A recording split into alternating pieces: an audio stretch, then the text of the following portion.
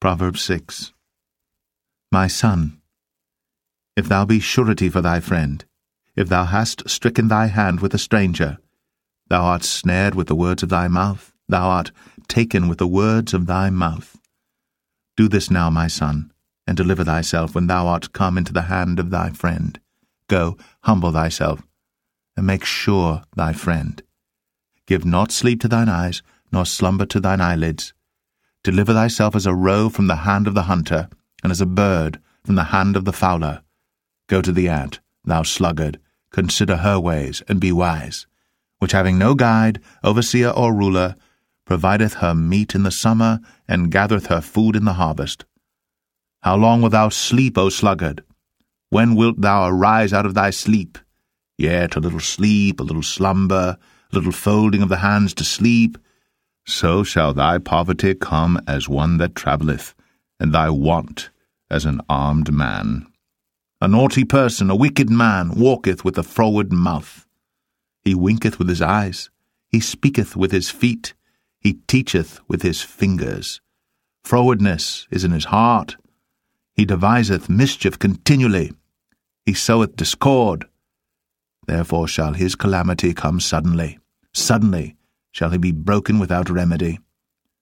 These six things doth the Lord hate, yea, seven are an abomination unto him a proud look, a lying tongue, and hands that shed innocent blood, and heart that deviseth wicked imaginations, feet that be swift in running to mischief, a false witness that speaketh lies, and he that soweth discord among brethren.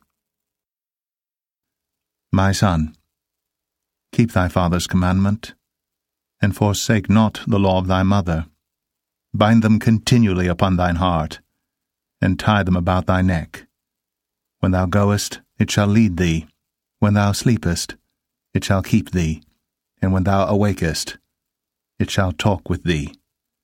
For the commandment is a lamp, and the law is light and reproofs of instruction are the way of life, to keep thee from the evil woman, from the flattery of the tongue of a strange woman. Lust not after her beauty in thine heart, neither let her take thee with her eyelids.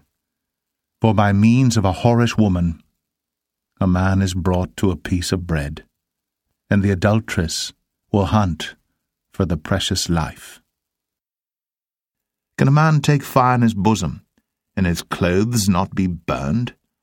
Can one go upon hot coals, and his feet not be burned? So, he that goeth in to his neighbour's wife, whosoever toucheth her shall not be innocent. Men do not despise a thief, if he steal to satisfy his soul when he is hungry. But if he be found, he shall restore sevenfold. He shall give all the substance of his house. But whoso committeth adultery with a woman lacketh understanding.